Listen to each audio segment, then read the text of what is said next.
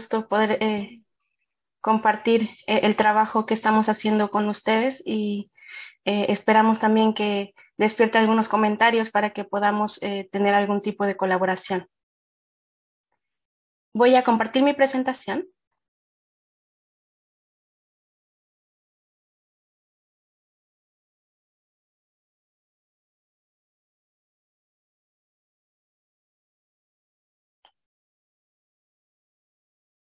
Ahí creo que se ve bien.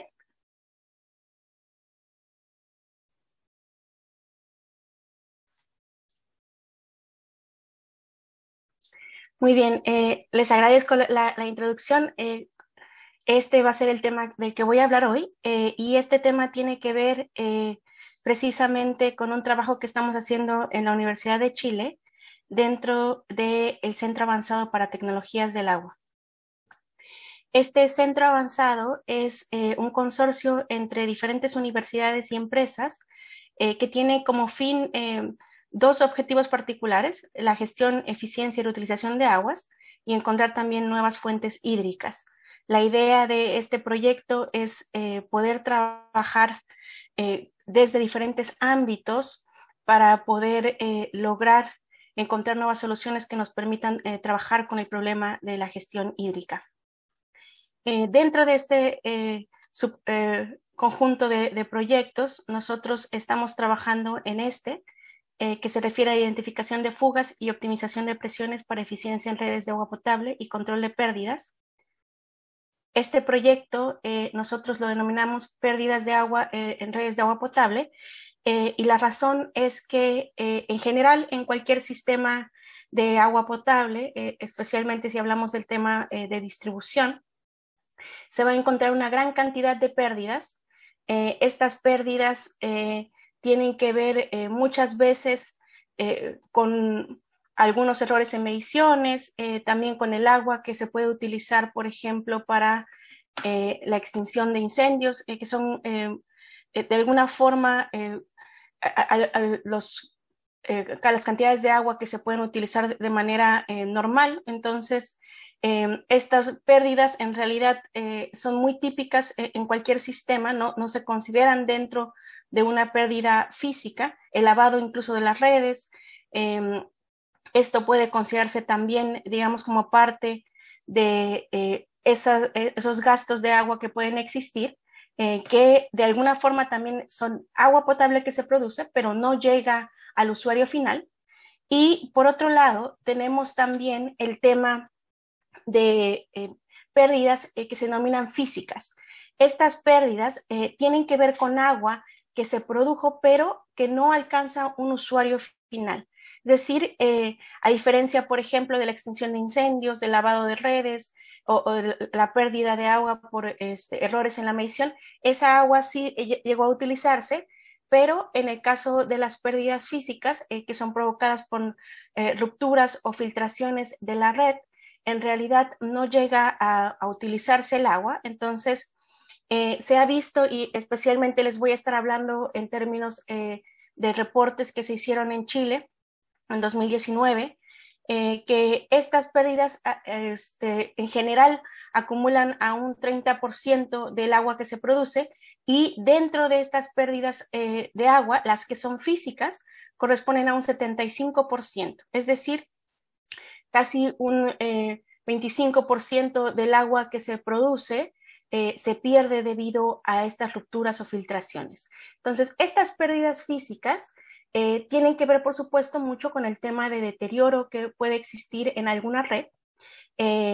muchas de las redes, en la mayoría de las ciudades, se han instalado desde hace muchas décadas, entonces siguen trabajando, se ha hecho programas de, reemplazo para poder eh, trabajar con nuevas redes. En el momento en que crecen nuevas poblaciones, se van colocando nuevas redes también, pero eh, hay una cantidad grande de tuberías que tiene una edad eh, que ha sobrepasado la vida útil de los materiales que se están empleando. Entonces, ese deterioro va a provocar, por supuesto, rupturas y filtraciones, pero también hay diferentes problemas que pueden provocar estas rupturas por ejemplo, la operación que se dé en la red, cómo se manejan estas presiones, también tiene que ver con qué tipo, digamos, de impacto puede generar en una tubería. Entonces, esto también puede, puede este, provocar filtraciones y eh, algo que también eh, nos va a provocar problemas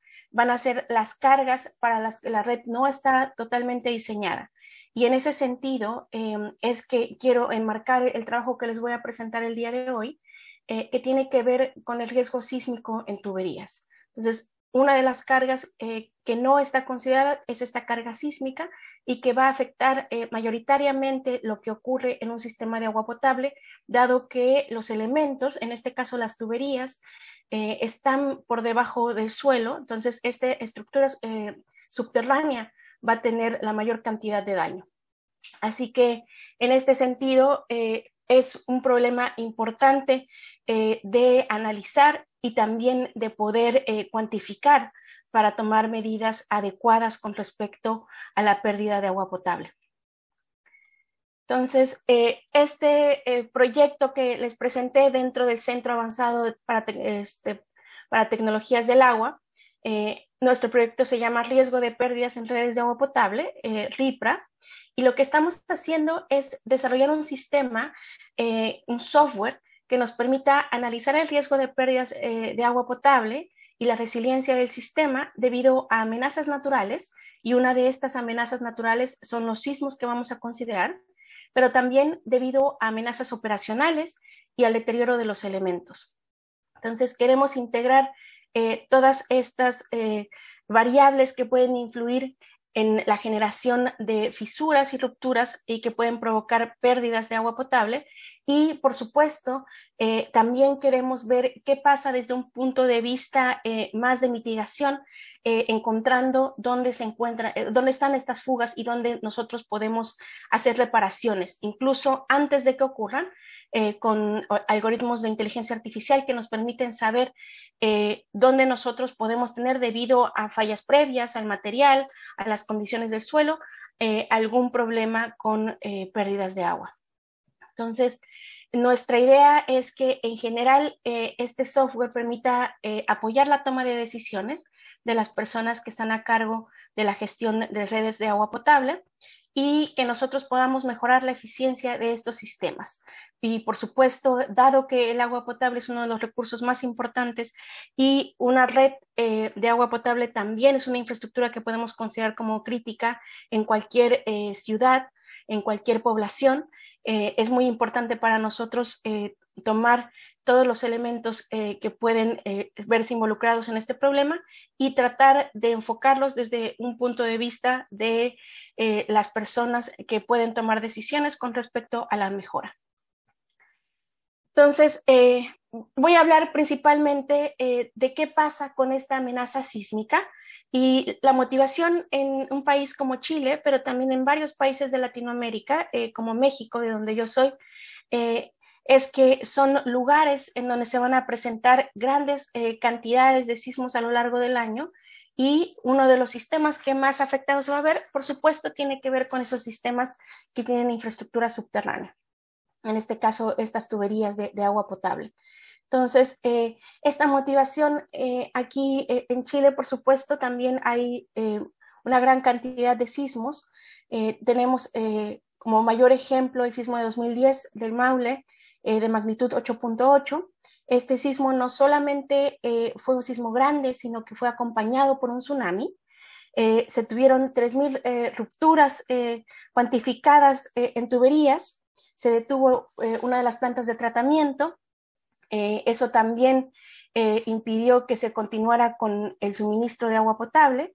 Eh, hubo diferentes fugas en tuberías de diámetro grande y colapso también de 73 tanques elevados que son los que almacenan el agua. Entonces, como pueden ver, el efecto que tiene un sismo en cualquier em, ciudad va a afectar no solamente las tuberías que nosotros tengamos, sino también eh, las diferentes em, estructuras que nos van a ayudar a eh, conducir el agua, tanto desde el punto de vista de la captación, la producción y hasta la distribución. Y por supuesto, si habláramos también de qué pasa con el sistema que capta las aguas residuales, encontraríamos que hay una gran cantidad de daño.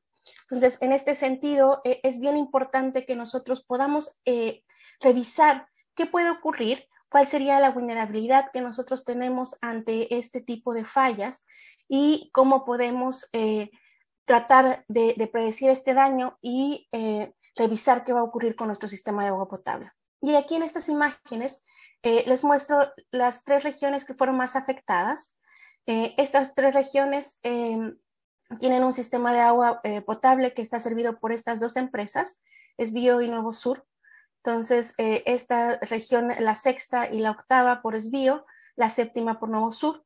Entonces, uno de los trabajos importantes durante la recuperación eh, después del sismo fue la colaboración que existió entre estas empresas que son privadas y eh, el gobierno eh, del país, que de alguna manera también tenía que coordinar estas actividades de reconstrucción y también las de emergencia en el momento en el que se suspendió el uso de este servicio. Entonces, todos estos elementos tienen que ser parte de un análisis de riesgo y eso es eh, bien importante. Vamos a hablar a, detalle de, cómo vamos a revisar este eh, problema y cómo nosotros podemos integrarlo dentro de, los diferentes elementos, pero eh, esta yo creo que es una idea bastante general de cómo nosotros podemos ver todo lo que puede ocurrir durante un sismo grande y, por supuesto, cuáles serían las consecuencias en términos no solamente económicos, sino también de organización. Entonces, vamos a hablar un poco de los elementos del análisis de riesgo y la metodología. Primero que nada, eh, me gustaría hablar de, la generalidad del análisis sísmico del sistema de agua potable. Eh, nosotros tenemos que un sistema de agua potable se compone de diferentes elementos. Hace rato hablamos eh, de las tuberías y vamos a hablar en mayor cantidad de, de, estas tuberías porque componen un porcentaje bastante grande del sistema, pero también tenemos eh, tanques, también tenemos válvulas, bombas, eh, vamos a tener en, ciertos lugares también pozos, eh, podemos tener plantas de tratamiento. Entonces, todos estos elementos van a estar unidos y van a estar trabajando para poder generar el agua potable y distribuirla al usuario final.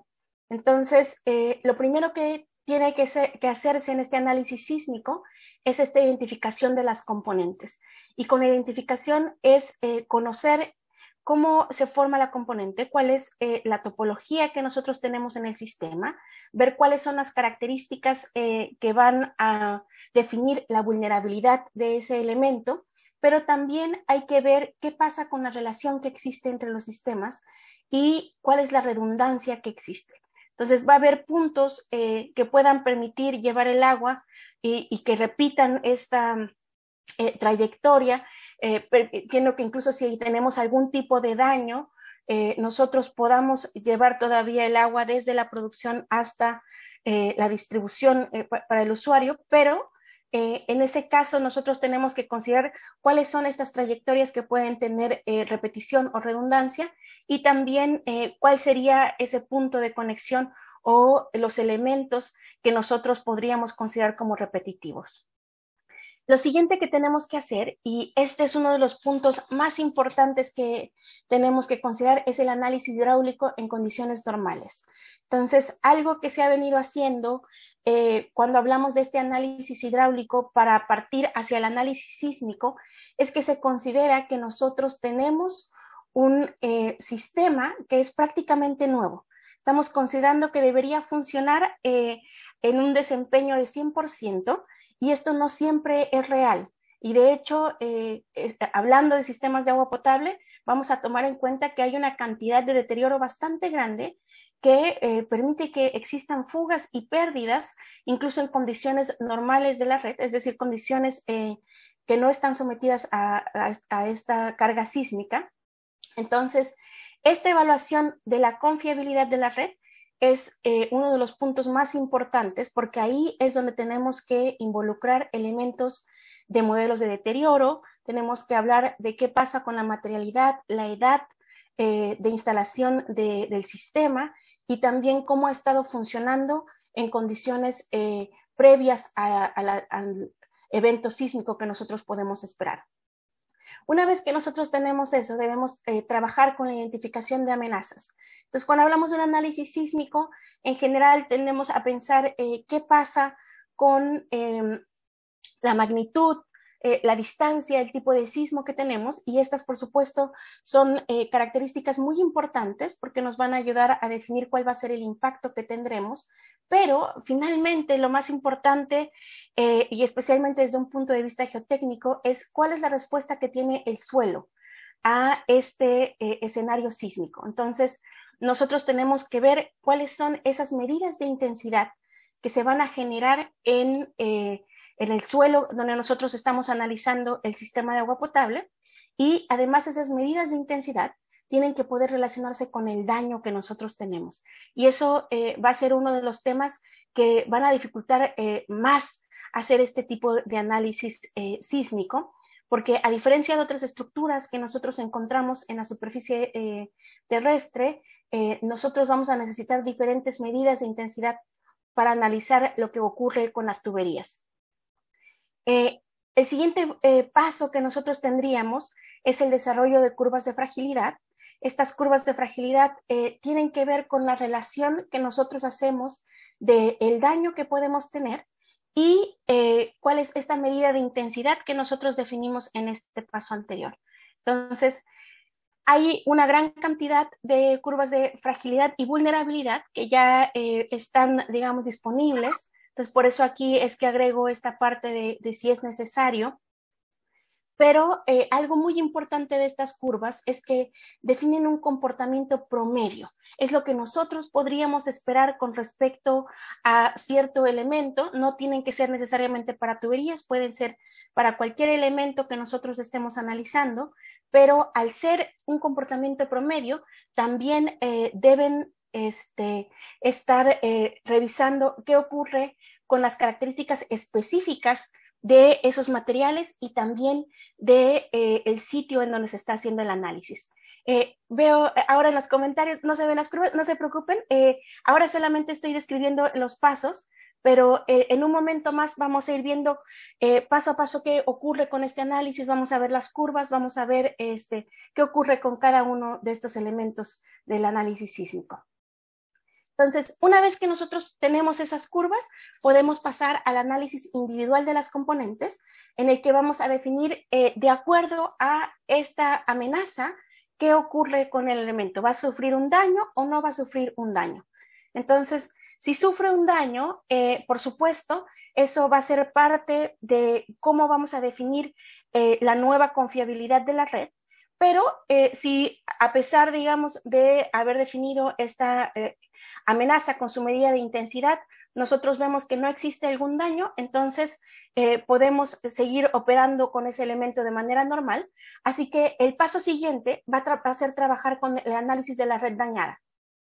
Entonces, va a ser repetir este paso y este aquí que teníamos, en los que nosotros eh, volvemos a hacer el análisis hidráulico, volvemos a tratar eh, de simular esa operación, pero ya con elementos que van a haber sufrido algún daño. Algunos no, algunos sí. Entonces, la idea es ver, una vez que tenemos nosotros eh, reflejado este daño en los elementos, ver cómo se comporta todo el sistema. Entonces, eh, una vez que nosotros hacemos eso, podemos ver qué pasa con puntos críticos y ejecutar una vez más un análisis de confiabilidad.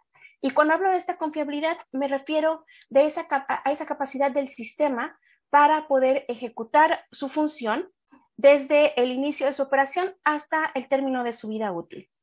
Entonces, vamos a ver eh, si una vez que tenemos el daño, podemos llegar a este análisis de confiabilidad. Entonces, esto es típicamente lo que haríamos en un análisis sísmico, pero eh, cuando nosotros hablamos de este análisis sísmico, necesariamente tenemos que incorporar el tema del riesgo. Entonces, eh, cuando hablamos de este riesgo, estos elementos que nosotros vemos aquí seguramente eh, son los que asocian en su mayoría, entonces podemos ver que hablamos de una amenaza, podemos ver que hablamos de una exposición, una vulnerabilidad y por supuesto las consecuencias. Entonces, lo que vamos a ver aquí es que nosotros vamos a tener que hacer primero la estimación de la amenaza, pero eh, cuando hablamos de estas evaluaciones de riesgo, queremos involucrar ese enfoque probabilístico. Y la razón es que existe demasiada incertidumbre con lo que puede ocurrir en este sistema de agua potable tan solo por cómo funciona el sistema, el deterioro que existe, cuáles son las relaciones, eh, cuál es la redundancia que nosotros podemos tener. Y en ese sentido es importante que nosotros tratemos de reducir un poco de esa incertidumbre a través de estos análisis probabilísticos. Entonces, vamos a tratar de estimar la amenaza y la probabilidad de ocurrencia. En la exposición nosotros vamos a ver cuál es la cantidad de usuarios que sirve esta red de agua potable y también cuál es la infraestructura que nosotros estamos analizando. Y esto, por supuesto, va a depender mucho del análisis de riesgo. Nosotros podemos limitar este análisis a una zona muy eh, particular, por ejemplo, en donde consideremos eh, que existe eh, una cantidad de edificios de cierta criticidad, como por ejemplo los hospitales, en donde nosotros debemos mantener ese suministro de agua potable. Entonces, esta parte de definir la exposición tiene que ver, por supuesto, con cuáles son los objetivos de este análisis. Luego vamos a tener el elemento de la vulnerabilidad. Y en esta vulnerabilidad nosotros tenemos que hablar del daño o la susceptibilidad a daño que vamos a tener y cómo esa susceptibilidad a daño está relacionada con la amenaza. Y eso, por supuesto, nos va a llevar a la consecuencia. Y esta consecuencia va a tener que ver con cuál es el impacto económico, eh, también cuáles son las personas afectadas, las pérdidas que se pueden tener y, por supuesto, qué ocurre con el desempeño de este sistema de agua potable. Entonces, en este proceso eh, nos tenemos que hacer varias preguntas. En la caracterización de elementos, eh, primero tenemos que pensar qué elementos existen. Si estamos hablando del sistema de agua potable, eh, queremos pensar quizá no solamente en las tuberías, sino también en tanques, en plantas de tratamiento. Tenemos que pensar también en estos tanques de almacenamiento y queremos ver cuáles son críticos. Como habíamos comentado en las diapositivas previas, vamos a tener una cantidad de redundancia. Entonces, eh, no todos los elementos quizás sean eh, totalmente importantes por analizar y en ese sentido, eh, esta parte nos ayuda a definir cuáles son los elementos que vamos a considerar como críticos. La caracterización de la amenaza, por supuesto, tenemos que pensar qué amenazas deben considerarse. Cuando hablamos de la amenaza sísmica, como ya vimos, va a haber una respuesta del suelo y esa respuesta del suelo puede llevar a una cantidad eh, diferente de, fenómenos que se pueden presentar, ya sea que hablamos, por ejemplo, de un suelo arcilloso o un suelo granular. Entonces, hay diferentes problemas que podríamos tener y en ese sentido también tenemos que caracterizar esta amenaza. ¿Qué es lo que vamos a considerar? ¿Bajo qué condiciones nosotros vamos a revisar lo que ocurre en el sistema de agua potable durante un sismo? Y luego vamos a ver qué pasa con el análisis de consecuencias. ¿Qué le sucede a los elementos si ocurre cierta amenaza? Y esto va a tener que ver, por supuesto, también con la vulnerabilidad, eh, que eh, tiene que ver con esa susceptibilidad al daño. Entonces, ¿qué puede ocurrir que va a permitir que ocurran las consecuencias que hemos definido? Y finalmente, lo que nosotros queremos sacar es este análisis de riesgo en el que nosotros podamos identificar cuál es el riesgo que tenemos, cuál sería la resiliencia del sistema, es decir, esa respuesta que va a tener post-sismo y esa capacidad que va a tener el, sistema de absorber el impacto de este evento, de poder eh, regresar a condiciones normales y, por supuesto, de eh, tratar de disminuir las consecuencias eh, negativas que tiene este impacto. Entonces, lo importante de este análisis de riesgo es cómo yo voy a manejar ese riesgo. Si es un nivel bajo, quizá no sea tan importante ni tan necesario hacer una inversión ni de tiempo ni de recursos, pero si yo veo que es eh, un impacto bastante grande, va a ser importante que nosotros trabajemos con esas eh, características. Entonces, lo que vamos a hacer para esta evaluación de riesgo, y esto es lo que voy a pasar a describir a partir de esta diapositiva, es primero pensar en un análisis probabilístico de la amenaza sísmica. Eh, esto, eh, que se conoce por sus siglas en inglés como PSHA, nos da una curva de amenaza en la que nosotros podemos ver una tasa de excedencia versus eh, el impacto o, la intensidad sísmica de diferentes escenarios. Pero aquí vamos a ver que al hacer un análisis en una red, no podemos considerar únicamente una curva, sino tenemos que pensar en un mapa, un mapa de amenaza sísmica que nos permita saber qué va a ocurrir bajo diferentes escenarios. Por otro lado, vamos a tener estas funciones de daño. Esto tiene que ver con las curvas de, fragilidad. Eh, o de vulnerabilidad, que son las que mencioné antes y que vamos a ver en, un momento más. Pero en este caso tenemos que pensar cómo este daño eh, eh, se va a dar debido al movimiento de suelo que nosotros obtenemos de este análisis de la amenaza. Y, por supuesto, este daño nos dice qué pasa de manera eh, física en un elemento. Si hablamos de una tubería, estamos pensando quizá existe una ruptura, una fisura. Si estamos hablando de un tanque, eh, pensamos, por ejemplo, si existe algún tipo de asentamiento, si existe algún tipo eh, de daño este, estructural que nosotros podamos considerar. Y entonces, cuando pensamos en eso, pensamos que ese elemento como tal ya tuvo algún detrimento en su operación pero tenemos que llevar eso hasta una función de pérdida. Y esta función de pérdida tiene que ver con eh, varios factores, pero unos podrían ser, por ejemplo, cuánto me va a costar reparar este elemento y también podrían extenderse a algo mucho más eh, complejo de evaluar, que es cuál es el efecto de que al tener daños en estos elementos y disminuir el desempeño del sistema, eh, hay una población que se queda sin agua y por lo tanto no puede llevar a cabo las actividades eh, normales que debería realizar. Entonces, hay una cantidad grande, digamos, de formas para evaluar esta pérdida.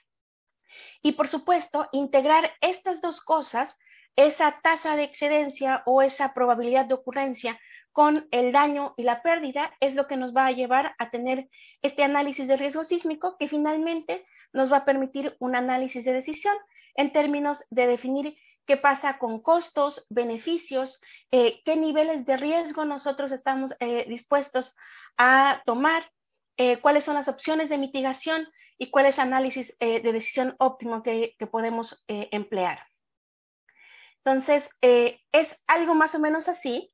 Esta es, digamos, la forma gráfica que nosotros veríamos. Seguramente, este, eh, varias y varios aquí hemos visto este tipo de, mapas de amenaza en los que podemos ver eh, qué ocurre con cierta medida de intensidad. Eh, tenemos, esta es la curva de fragilidad que les mencionaba, y esta curva de fragilidad es muy importante porque tiene que ver con una curva que se definió en el campo de la medicina, que es eh, la curva de dosis-respuesta, en la que nosotros vemos eh, qué pasa eh, si se aplica cierta dosis con la salud de, de, alguna persona, pero esta es una adaptación ingenieril. Entonces, lo que vemos es qué pasa con el daño que podríamos tener en este eje respecto a una medida de intensidad. En este caso, hablando del análisis sísmico, una medida de intensidad sísmica. Y entonces, cuando hablamos de una curva de eh, vulnerabilidad, hablamos de un daño que puede ser cualquier valor determinístico que nosotros podamos definir con base quizá en experimentos o en datos empíricos. Pero una curva de fragilidad lo que nos dice es cuál es eh, esa probabilidad de exceder un estado de daño, dado que tenemos cierta medida de intensidad. Entonces, una curva de fragilidad en sí misma tiene eh, una característica o una componente mucho más probabilística y es lo que nosotros vemos aquí. Esta probabilidad, eh, por ejemplo, de exceder, eh, tenemos un daño medio, un daño que considera diferentes desviaciones estándar y tenemos esta probabilidad que va de 0 a 1 de exceder ese estado de daño. Y por supuesto, lo que va a seguir en este análisis es unir estos dos elementos, ver qué pasa con el daño en componentes de la red y entonces poder hacer el análisis completo de nuestra red de agua potable. Entonces, vamos a hablar primero de esta vulnerabilidad. Eh, vamos a ver eh, cuáles son estos elementos que debemos considerar, cuáles serían eh, las medidas de intensidad que nosotros revisamos, especialmente de nuevo hablando de tuberías. Eso quiero hacer énfasis porque es una de nuestras principales preocupaciones debido a, a, la cantidad eh, de tuberías que existen en un sistema de agua potable. Entonces, como les mencionaba hace poco, cuando hablamos de este análisis sísmico, pensamos en general en esta magnitud, en esta distancia que podemos tener hacia la fuente eh, sísmica, pero lo importante es cuál es la respuesta del suelo. Entonces, cuando hablamos de esta respuesta, esa es la medida de intensidad que queremos considerar y lo que hemos visto es que en estructuras que tenemos por encima de la superficie, eh, tenemos un filtro inercial en el movimiento del suelo incidente. Esto no ocurre con las estructuras que son eh, subterráneas. Entonces, eh, cuando nosotros hablamos en general, y seguramente este, quienes se dedican um, mucho a este análisis sísmico o al análisis probabilístico, sacar estas curvas de amenaza, concentran mucho en sacar, por ejemplo, qué pasa con aceleración máxima de terreno, que es este valor de, PGA, o también en sacar este, una aceleración espectral, eh, que es eh, bastante buena para revisar eh, qué ocurre con esta infraestructura que tenemos en la superficie, pero cuando hablamos de lo que ocurre en el suelo, tenemos que considerar que estas estructuras van a tender a moverse con, el suelo, entonces no vamos a poder representar su comportamiento a través de PGA o a través de la aceleración espectral. Entonces, lo mejor para considerar este comportamiento van a ser ver qué ocurre con una deformación transitoria del suelo, que está dada en, términos del el PGB, que es la, velocidad máxima de terreno, y también qué ocurre con la deformación permanente del suelo, este PGD. Y ojo aquí porque a veces este PGD se confunde con el desplazamiento máximo en terreno, pero en este caso estamos hablando de la deformación permanente del suelo. Entonces, este PGD tiene que ver con eh, cómo nosotros vamos a medir esa deformación que ocurre por diferentes respuestas a este eh, movimiento sísmico y tiene que ver muchas veces con rupturas de fallas, eh, deslizamientos, desplazamientos laterales, licuación. Entonces, esta deformación permanente y esta deformación transitoria que nosotros tenemos van a ser dos fenómenos distintos, pero que van a afectar eh, mayormente lo que ocurre con la infraestructura subterránea. Entonces, por un lado vamos a tener la propagación de ondas, pero por el otro vamos a tener lo que ocurre con esta deformación permanente. Y en este eh, ámbito, la deformación del suelo permanente es un poco más compleja de estudiar. Eh, la razón es que cuando nosotros hablamos de este tema, tenemos que hay diferentes causas eh, podemos tener, eh, como les decía, licuación, eh, deslizamientos, fallas, ruptura de, estas fallas, subsidencia. Entonces, hay diferentes fenómenos que nos van a provocar esta deformación permanente. Vamos a ver que este tipo de deformación permanente va a provocar daño importante en las tuberías y por supuesto también puede provocar, eh, en el caso de la licuación, flotación de elementos subterráneos. Entonces vamos a tener diferentes problemas asociados a este PGD y eh, que van a ser bien importantes de revisar. Y a diferencia de lo que nosotros observaríamos con el PGB, es decir, con esta deformación transitoria, es que eh, este PGB se extiende en áreas bastante grandes pero el daño que podemos tener eh, asociado al PGD es menor que lo que nosotros tendríamos con el PGD.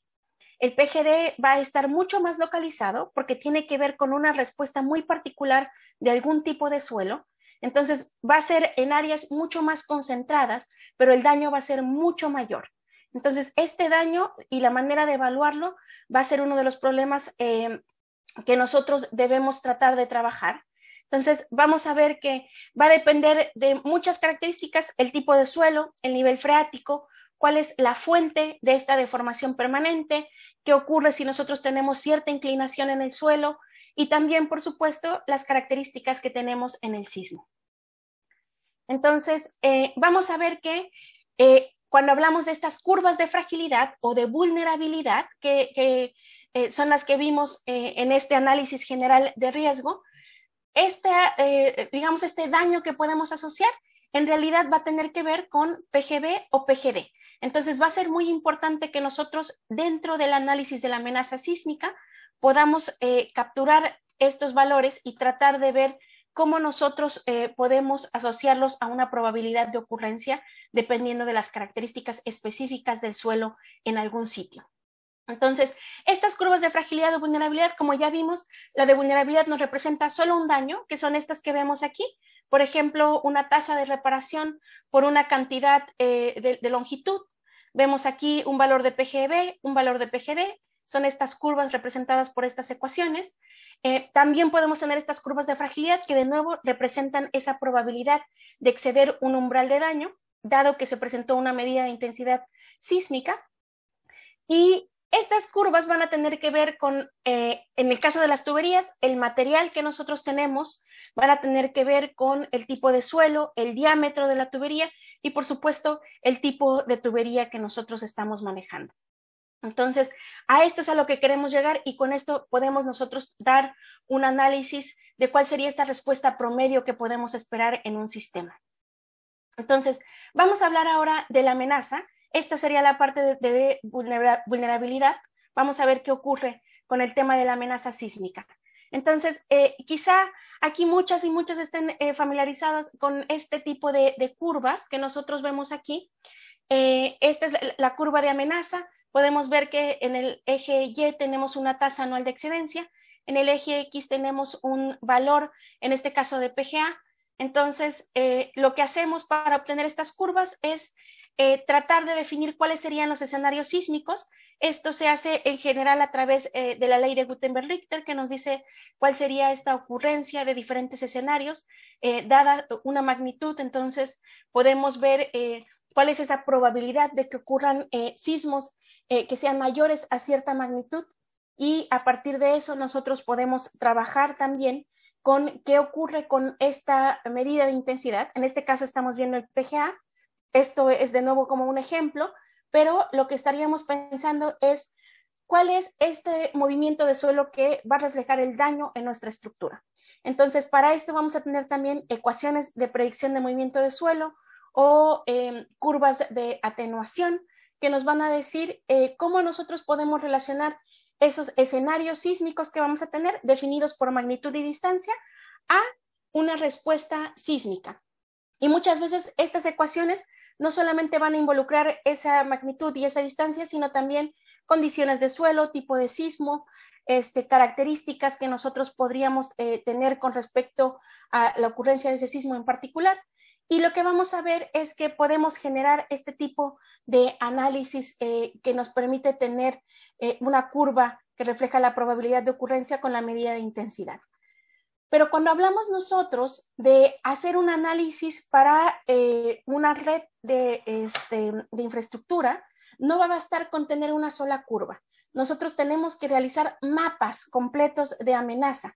Esos mapas tienen que poder relacionar qué ocurre con diferentes escenarios sísmicos, cómo se va a presentar una respuesta en distintos puntos, considerando qué pasa también eh, con eh, las características de suelo que podemos tener en diferentes áreas. Entonces, todo esto tiene que involucrarse en el mapa de amenaza.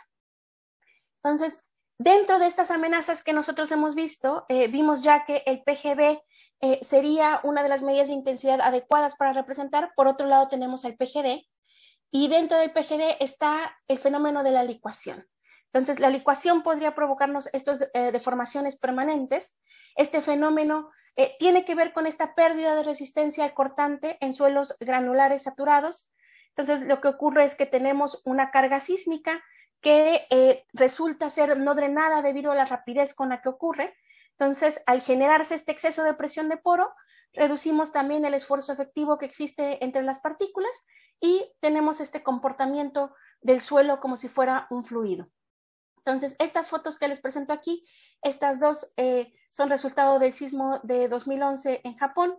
Esta es del sismo de 2018 eh, en Hokkaido, también en, el norte de Japón. Entonces, ustedes pueden ver que los efectos que tiene esta em, erupción del suelo y esta licuación van a ser bastante significativos. Entonces, quizás no son muy extendidos en un área, pero sí son eh, muy significativos de lo que puede ocurrir, especialmente cuando hablamos de nuestra infraestructura subterránea. Entonces, eh, va a ser importante que nosotros eh, podamos hacer una caracterización de qué ocurre con el PGD inducido por licuación. Y para eso tenemos que pensar en cómo nosotros podemos hacer este análisis de licuación. Entonces, cuando nosotros trabajamos con esto, vamos a ver que hay diferentes procedimientos para poder evaluar la licuación.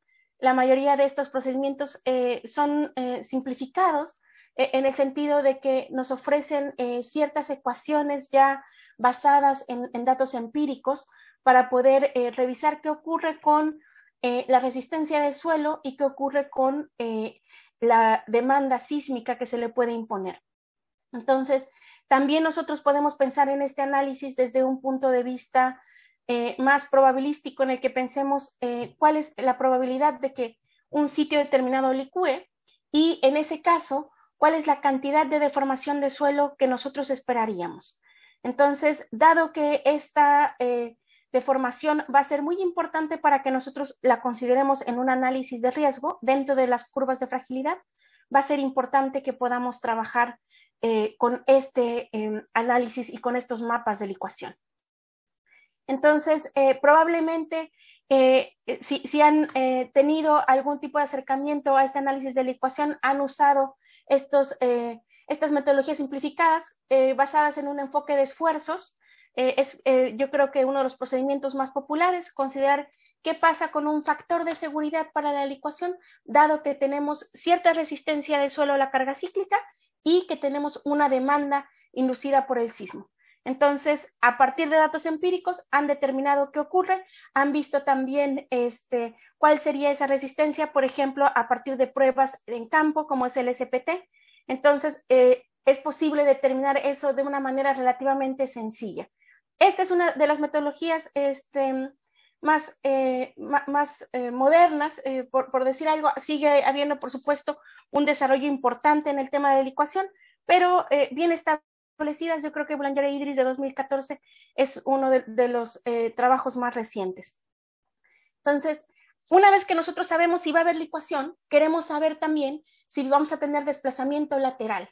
Entonces, en ese sentido, eh, queremos revisar cómo nosotros medimos ese desplazamiento, porque esto es lo que nos va a dar el valor de PGD que nosotros queremos asociar al daño que podríamos tener en el sistema de agua potable.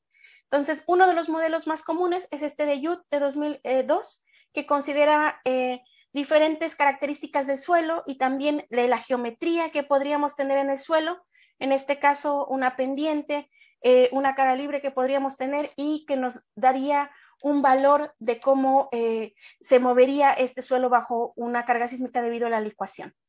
También podríamos tener un modelo probabilístico, eh, por ejemplo, el que propuso Chetin et al. En, el que propusieron eh, ellos en 2004. Y en este sentido incorporaríamos también incertidumbre en condiciones de suelo y, por supuesto, podríamos hacerlo también en escenarios sísmicos. Tenemos también los asentamientos post-licuación, y estos asentamientos post-licuación tienen que ver con esta reconsolidación que ocurre en el suelo una vez que ha pasado el sismo. Entonces, una vez que pasa el sismo, es posible disipar este exceso de presión de poro y las partículas vuelven a agruparse. Entonces, nosotros tendríamos aquí un asentamiento y ese asentamiento también se puede estimar a través de estos eh, procedimientos simplificados, eh, siendo yo creo uno de los eh, base este de Ishihara Yoshimine, que dan una, base para varios otros procedimientos que se han desarrollado, por ejemplo, este de Shang de 2002.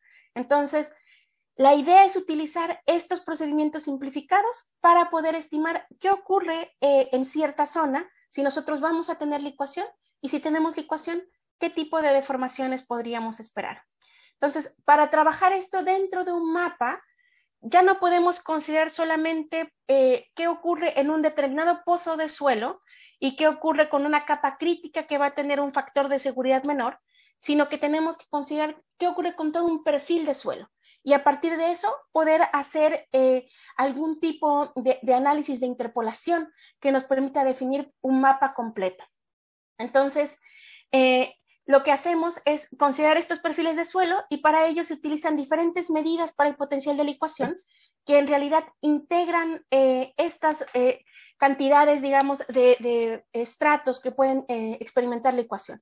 Y en ese sentido tendríamos el índice de potencial de licuación, el índice de severidad de licuación, el, el número de severidad de licuación y el asentamiento por reconsolidación volumétrica unidimensional. Entonces, hay diferentes formas de hacer estos mapas de licuación. Una de las más sencillas es utilizar la geología, en la que vamos a ver que em, los suelos más recientes, por supuesto hablando en una escala geológica, van a ser los que van a atender mucho más a la licuación, pero la idea es emplear eh, eh, estos métodos simplificados que hemos visto y entonces trabajar con un mapeo que incluya la geología, la historia de eventos previos, pero también estas ideas de considerar diferentes medidas que integren todo un perfil de suelos. Y en ese sentido tenemos estos mapas de índice de potencial de licuación. este fue calculado con esta metodología simplificada para ver qué pasa con el factor de seguridad que tenemos aquí. Pero como habíamos comentado, esta medida de licuación, que es el eh, índice de potencial de licuación, integra qué ocurre en los primeros 20 metros con esta ecuación que vemos aquí y nos permite saber si tenemos un valor mayor a 15, eh, que tenemos una probabilidad alta de experimentar licuación y de tener daños y desplazamientos. Tenemos también el número de severidad de licuación. Eh, esto es bastante similar, pero en vez de involucrar el factor de seguridad, hablamos de una integración de eh, la deformación volumétrica. Entonces, a partir de esto también podemos hacer mapas que nos permiten integrar eh, qué ocurre con este potencial de licuación y qué vamos a eh, esperar en ciertas condiciones. Y obviamente, a partir de estos mapas, nosotros podemos sacar también desplazamientos laterales y asentamientos. Entonces, podemos ya tener para un área en donde queremos hacer el análisis del sistema de agua potable, estos desplazamientos, que en este caso estamos utilizando esta metodología de Yut et al. de 2002, y en este caso les presento un escenario determinístico eh, utilizando esta magnitud y este valor de eh, aceleración de suelo, que es el parámetro que utiliza este modelo. Y eh, tenemos en este caso un escenario probabilístico en el que vemos cuál es la probabilidad de exceder 0.1 metros de deformación permanente. Entonces, este tipo de mapas son los que nosotros podemos utilizar para hacer ya la relación con la vulnerabilidad que nosotros vimos y a partir de eso poder trabajar con lo que ocurre para el riesgo. Entonces, ¿qué sigue una vez que nosotros definimos la amenaza y que definimos lo que ocurre con eh, la vulnerabilidad? Tenemos que ver qué pasa con el daño en la red.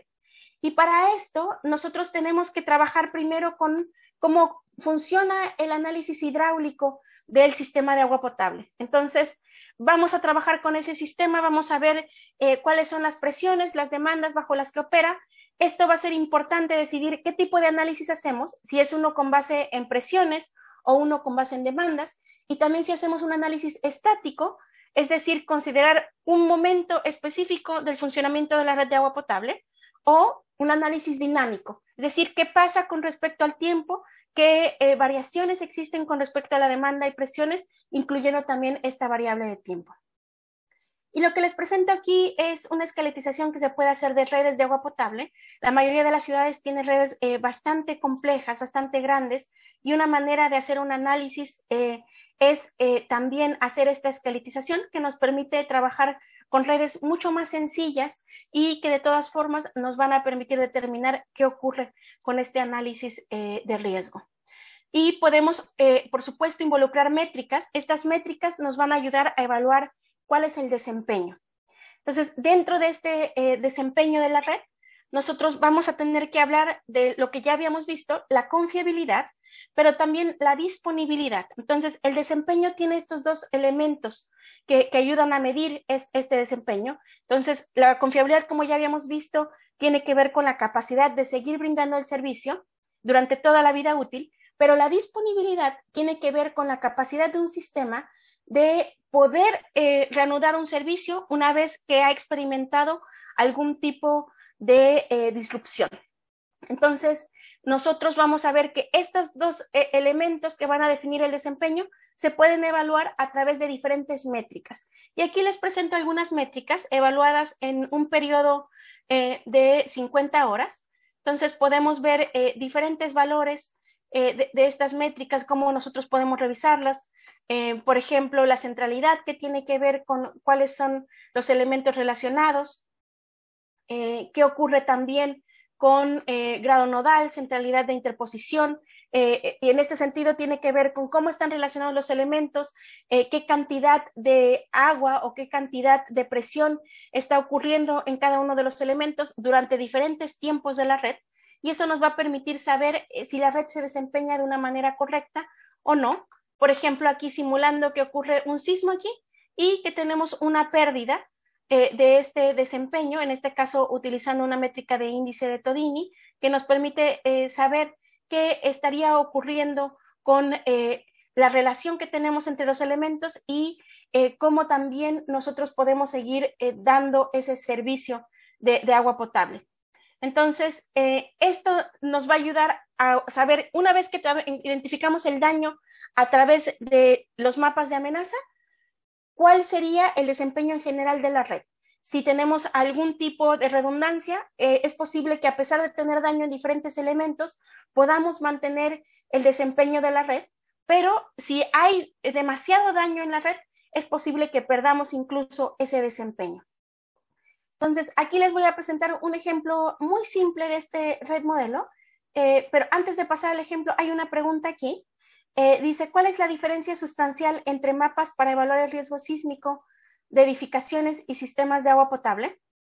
Eh, la diferencia tiene que ver con cuál es la medida de intensidad que nosotros utilizamos. Y esa medida de intensidad tiene que reflejar el daño que nosotros podemos esperar en cierto elemento. Entonces, en general, para edificaciones podríamos utilizar, por ejemplo, la aceleración máxima de terreno, PGA, la aceleración espectral, que nos va a ayudar a saber esta aceleración eh, en diferentes em, periodos de vibración de la estructura, pero cuando hablamos de sistemas de agua potable, hay elementos, en este caso las tuberías, que van a necesitar que nosotros realicemos estos mapas en términos de velocidad máxima de terreno y de formación permanente. Entonces, vamos a pasar este ejemplo. Eh, es bastante rápido porque está hecho en una red eh, modelo pero la idea de este análisis de riesgo, y con lo que yo quiero que se queden hoy, es eh, esta parte en la que estamos pasando de una amenaza eh, y considerando cuál es el daño que podríamos tener en el sistema o en diferentes elementos.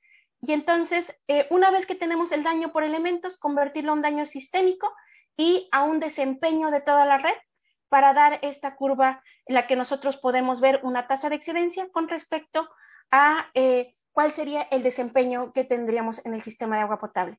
En este caso, esta métrica de desempeño podría ser la máxima variación de disponibilidad de agua. Entonces, para ver el daño en la red, eh, tenemos que definir primero lo que ocurre con la amenaza sísmica. De nuevo, en este caso, si consideramos únicamente tuberías, estaríamos hablando de lo que ocurre con la amenaza en términos de PGB o PGD. Eh, y una vez que nosotros tenemos este daño, en la red, esta es una red eh, modelo, de nuevo, es muy pequeñita.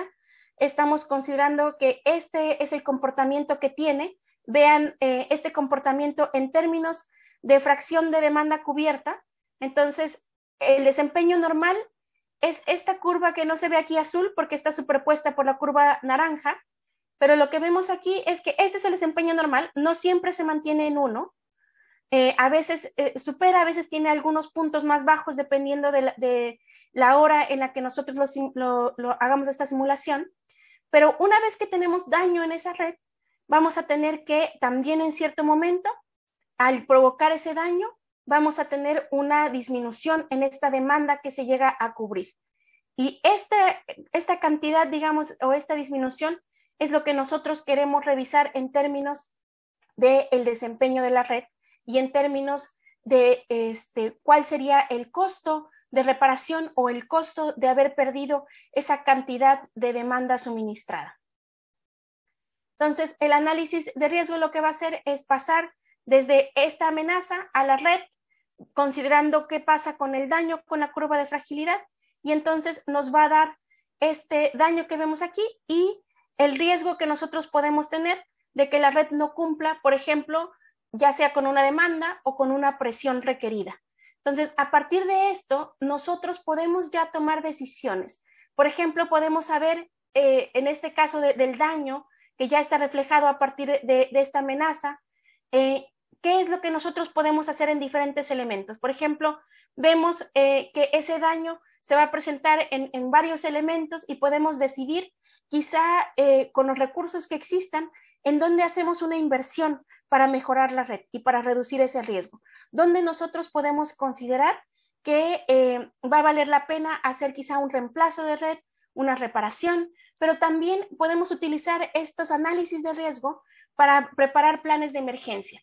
Si nosotros vamos a tener eh, que se van a dañar ciertos puntos, podemos también definir en dónde nos va a eh, convenir hacer una reparación eh, más pronto que, en otros lados, porque eso puede incrementar el desempeño de nuestra red.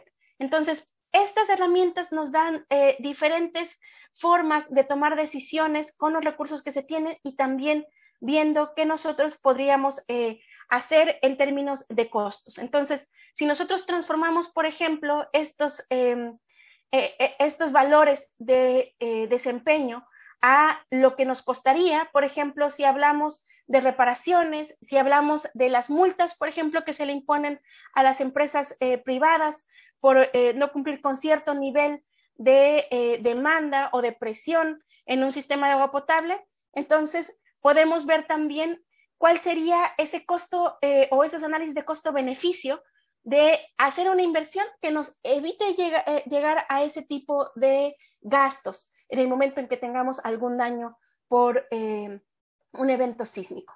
Entonces, la idea de nuevo de todas estas herramientas es proporcionar esta información y poder saber eh, dónde deberíamos utilizar estos recursos, cuándo es el mejor momento para aplicar eh, estos recursos, cuáles serían las mejores alternativas, cuáles son los elementos críticos y, por supuesto, cómo nosotros podemos hacer esto de la manera más eficiente posible. En conclusión, eh, este trabajo que les presento eh, tiene todavía mucho a, que, crecer. Eh, necesitamos mejorar estas bases de, datos de suelo y de las amenazas, trabajar con estos análisis de la ecuación, por ejemplo, tratar de refinarlos, conseguir más información con respecto a otros problemas que nos pueden generar también diferentes respuestas con respecto a PGB y PGD trabajar también con diferentes curvas de fragilidad para ver eh, qué ocurre con los diferentes materiales que existen en las redes, eh, ver también qué pasa con modelos de deterioro, como les mencionaba al inicio, va a ser muy importante que nosotros pensemos en eh, cuál es ese modelo de deterioro que nos permita conocer exactamente cuál es el desempeño que tiene la red antes de considerar un sismo, o incluso ver cuál es el daño que tiene una red después de soportar diferentes sismos. Entonces, estos modelos de deterioro se tienen que desarrollar también y tienen que ser adecuados a la materialidad y a las condiciones que se tienen en cada lugar. Y por supuesto, lo que seguiría una vez eh, que nosotros eh, terminemos este análisis sísmico es considerar un análisis multiamenaza. Cómo nosotros podemos integrar eh, diferentes eventos que pueden ser amenazas naturales o amenazas operacionales dentro de un mismo análisis de riesgo. Y con esto concluyo, les agradezco mucho. Eh, eh, quiero nada más eh, dar un agradecimiento al equipo que está trabajando con nosotros. son las personas que han hecho capaz que tengamos este tipo de, información, estos análisis. Entonces, también los invito a que si tienen más interés en nuestro proyecto o en el centro de este, el Centro Avanzado para Tecnologías del Agua, visiten la página y eh, también, por supuesto, se pongan en contacto con, nosotros para poder eh, comentar a mayor detalle. Les agradezco mucho su tiempo. Sé que fue largo, pero espero que no haya sido eh, insufrible. Les agradezco mucho.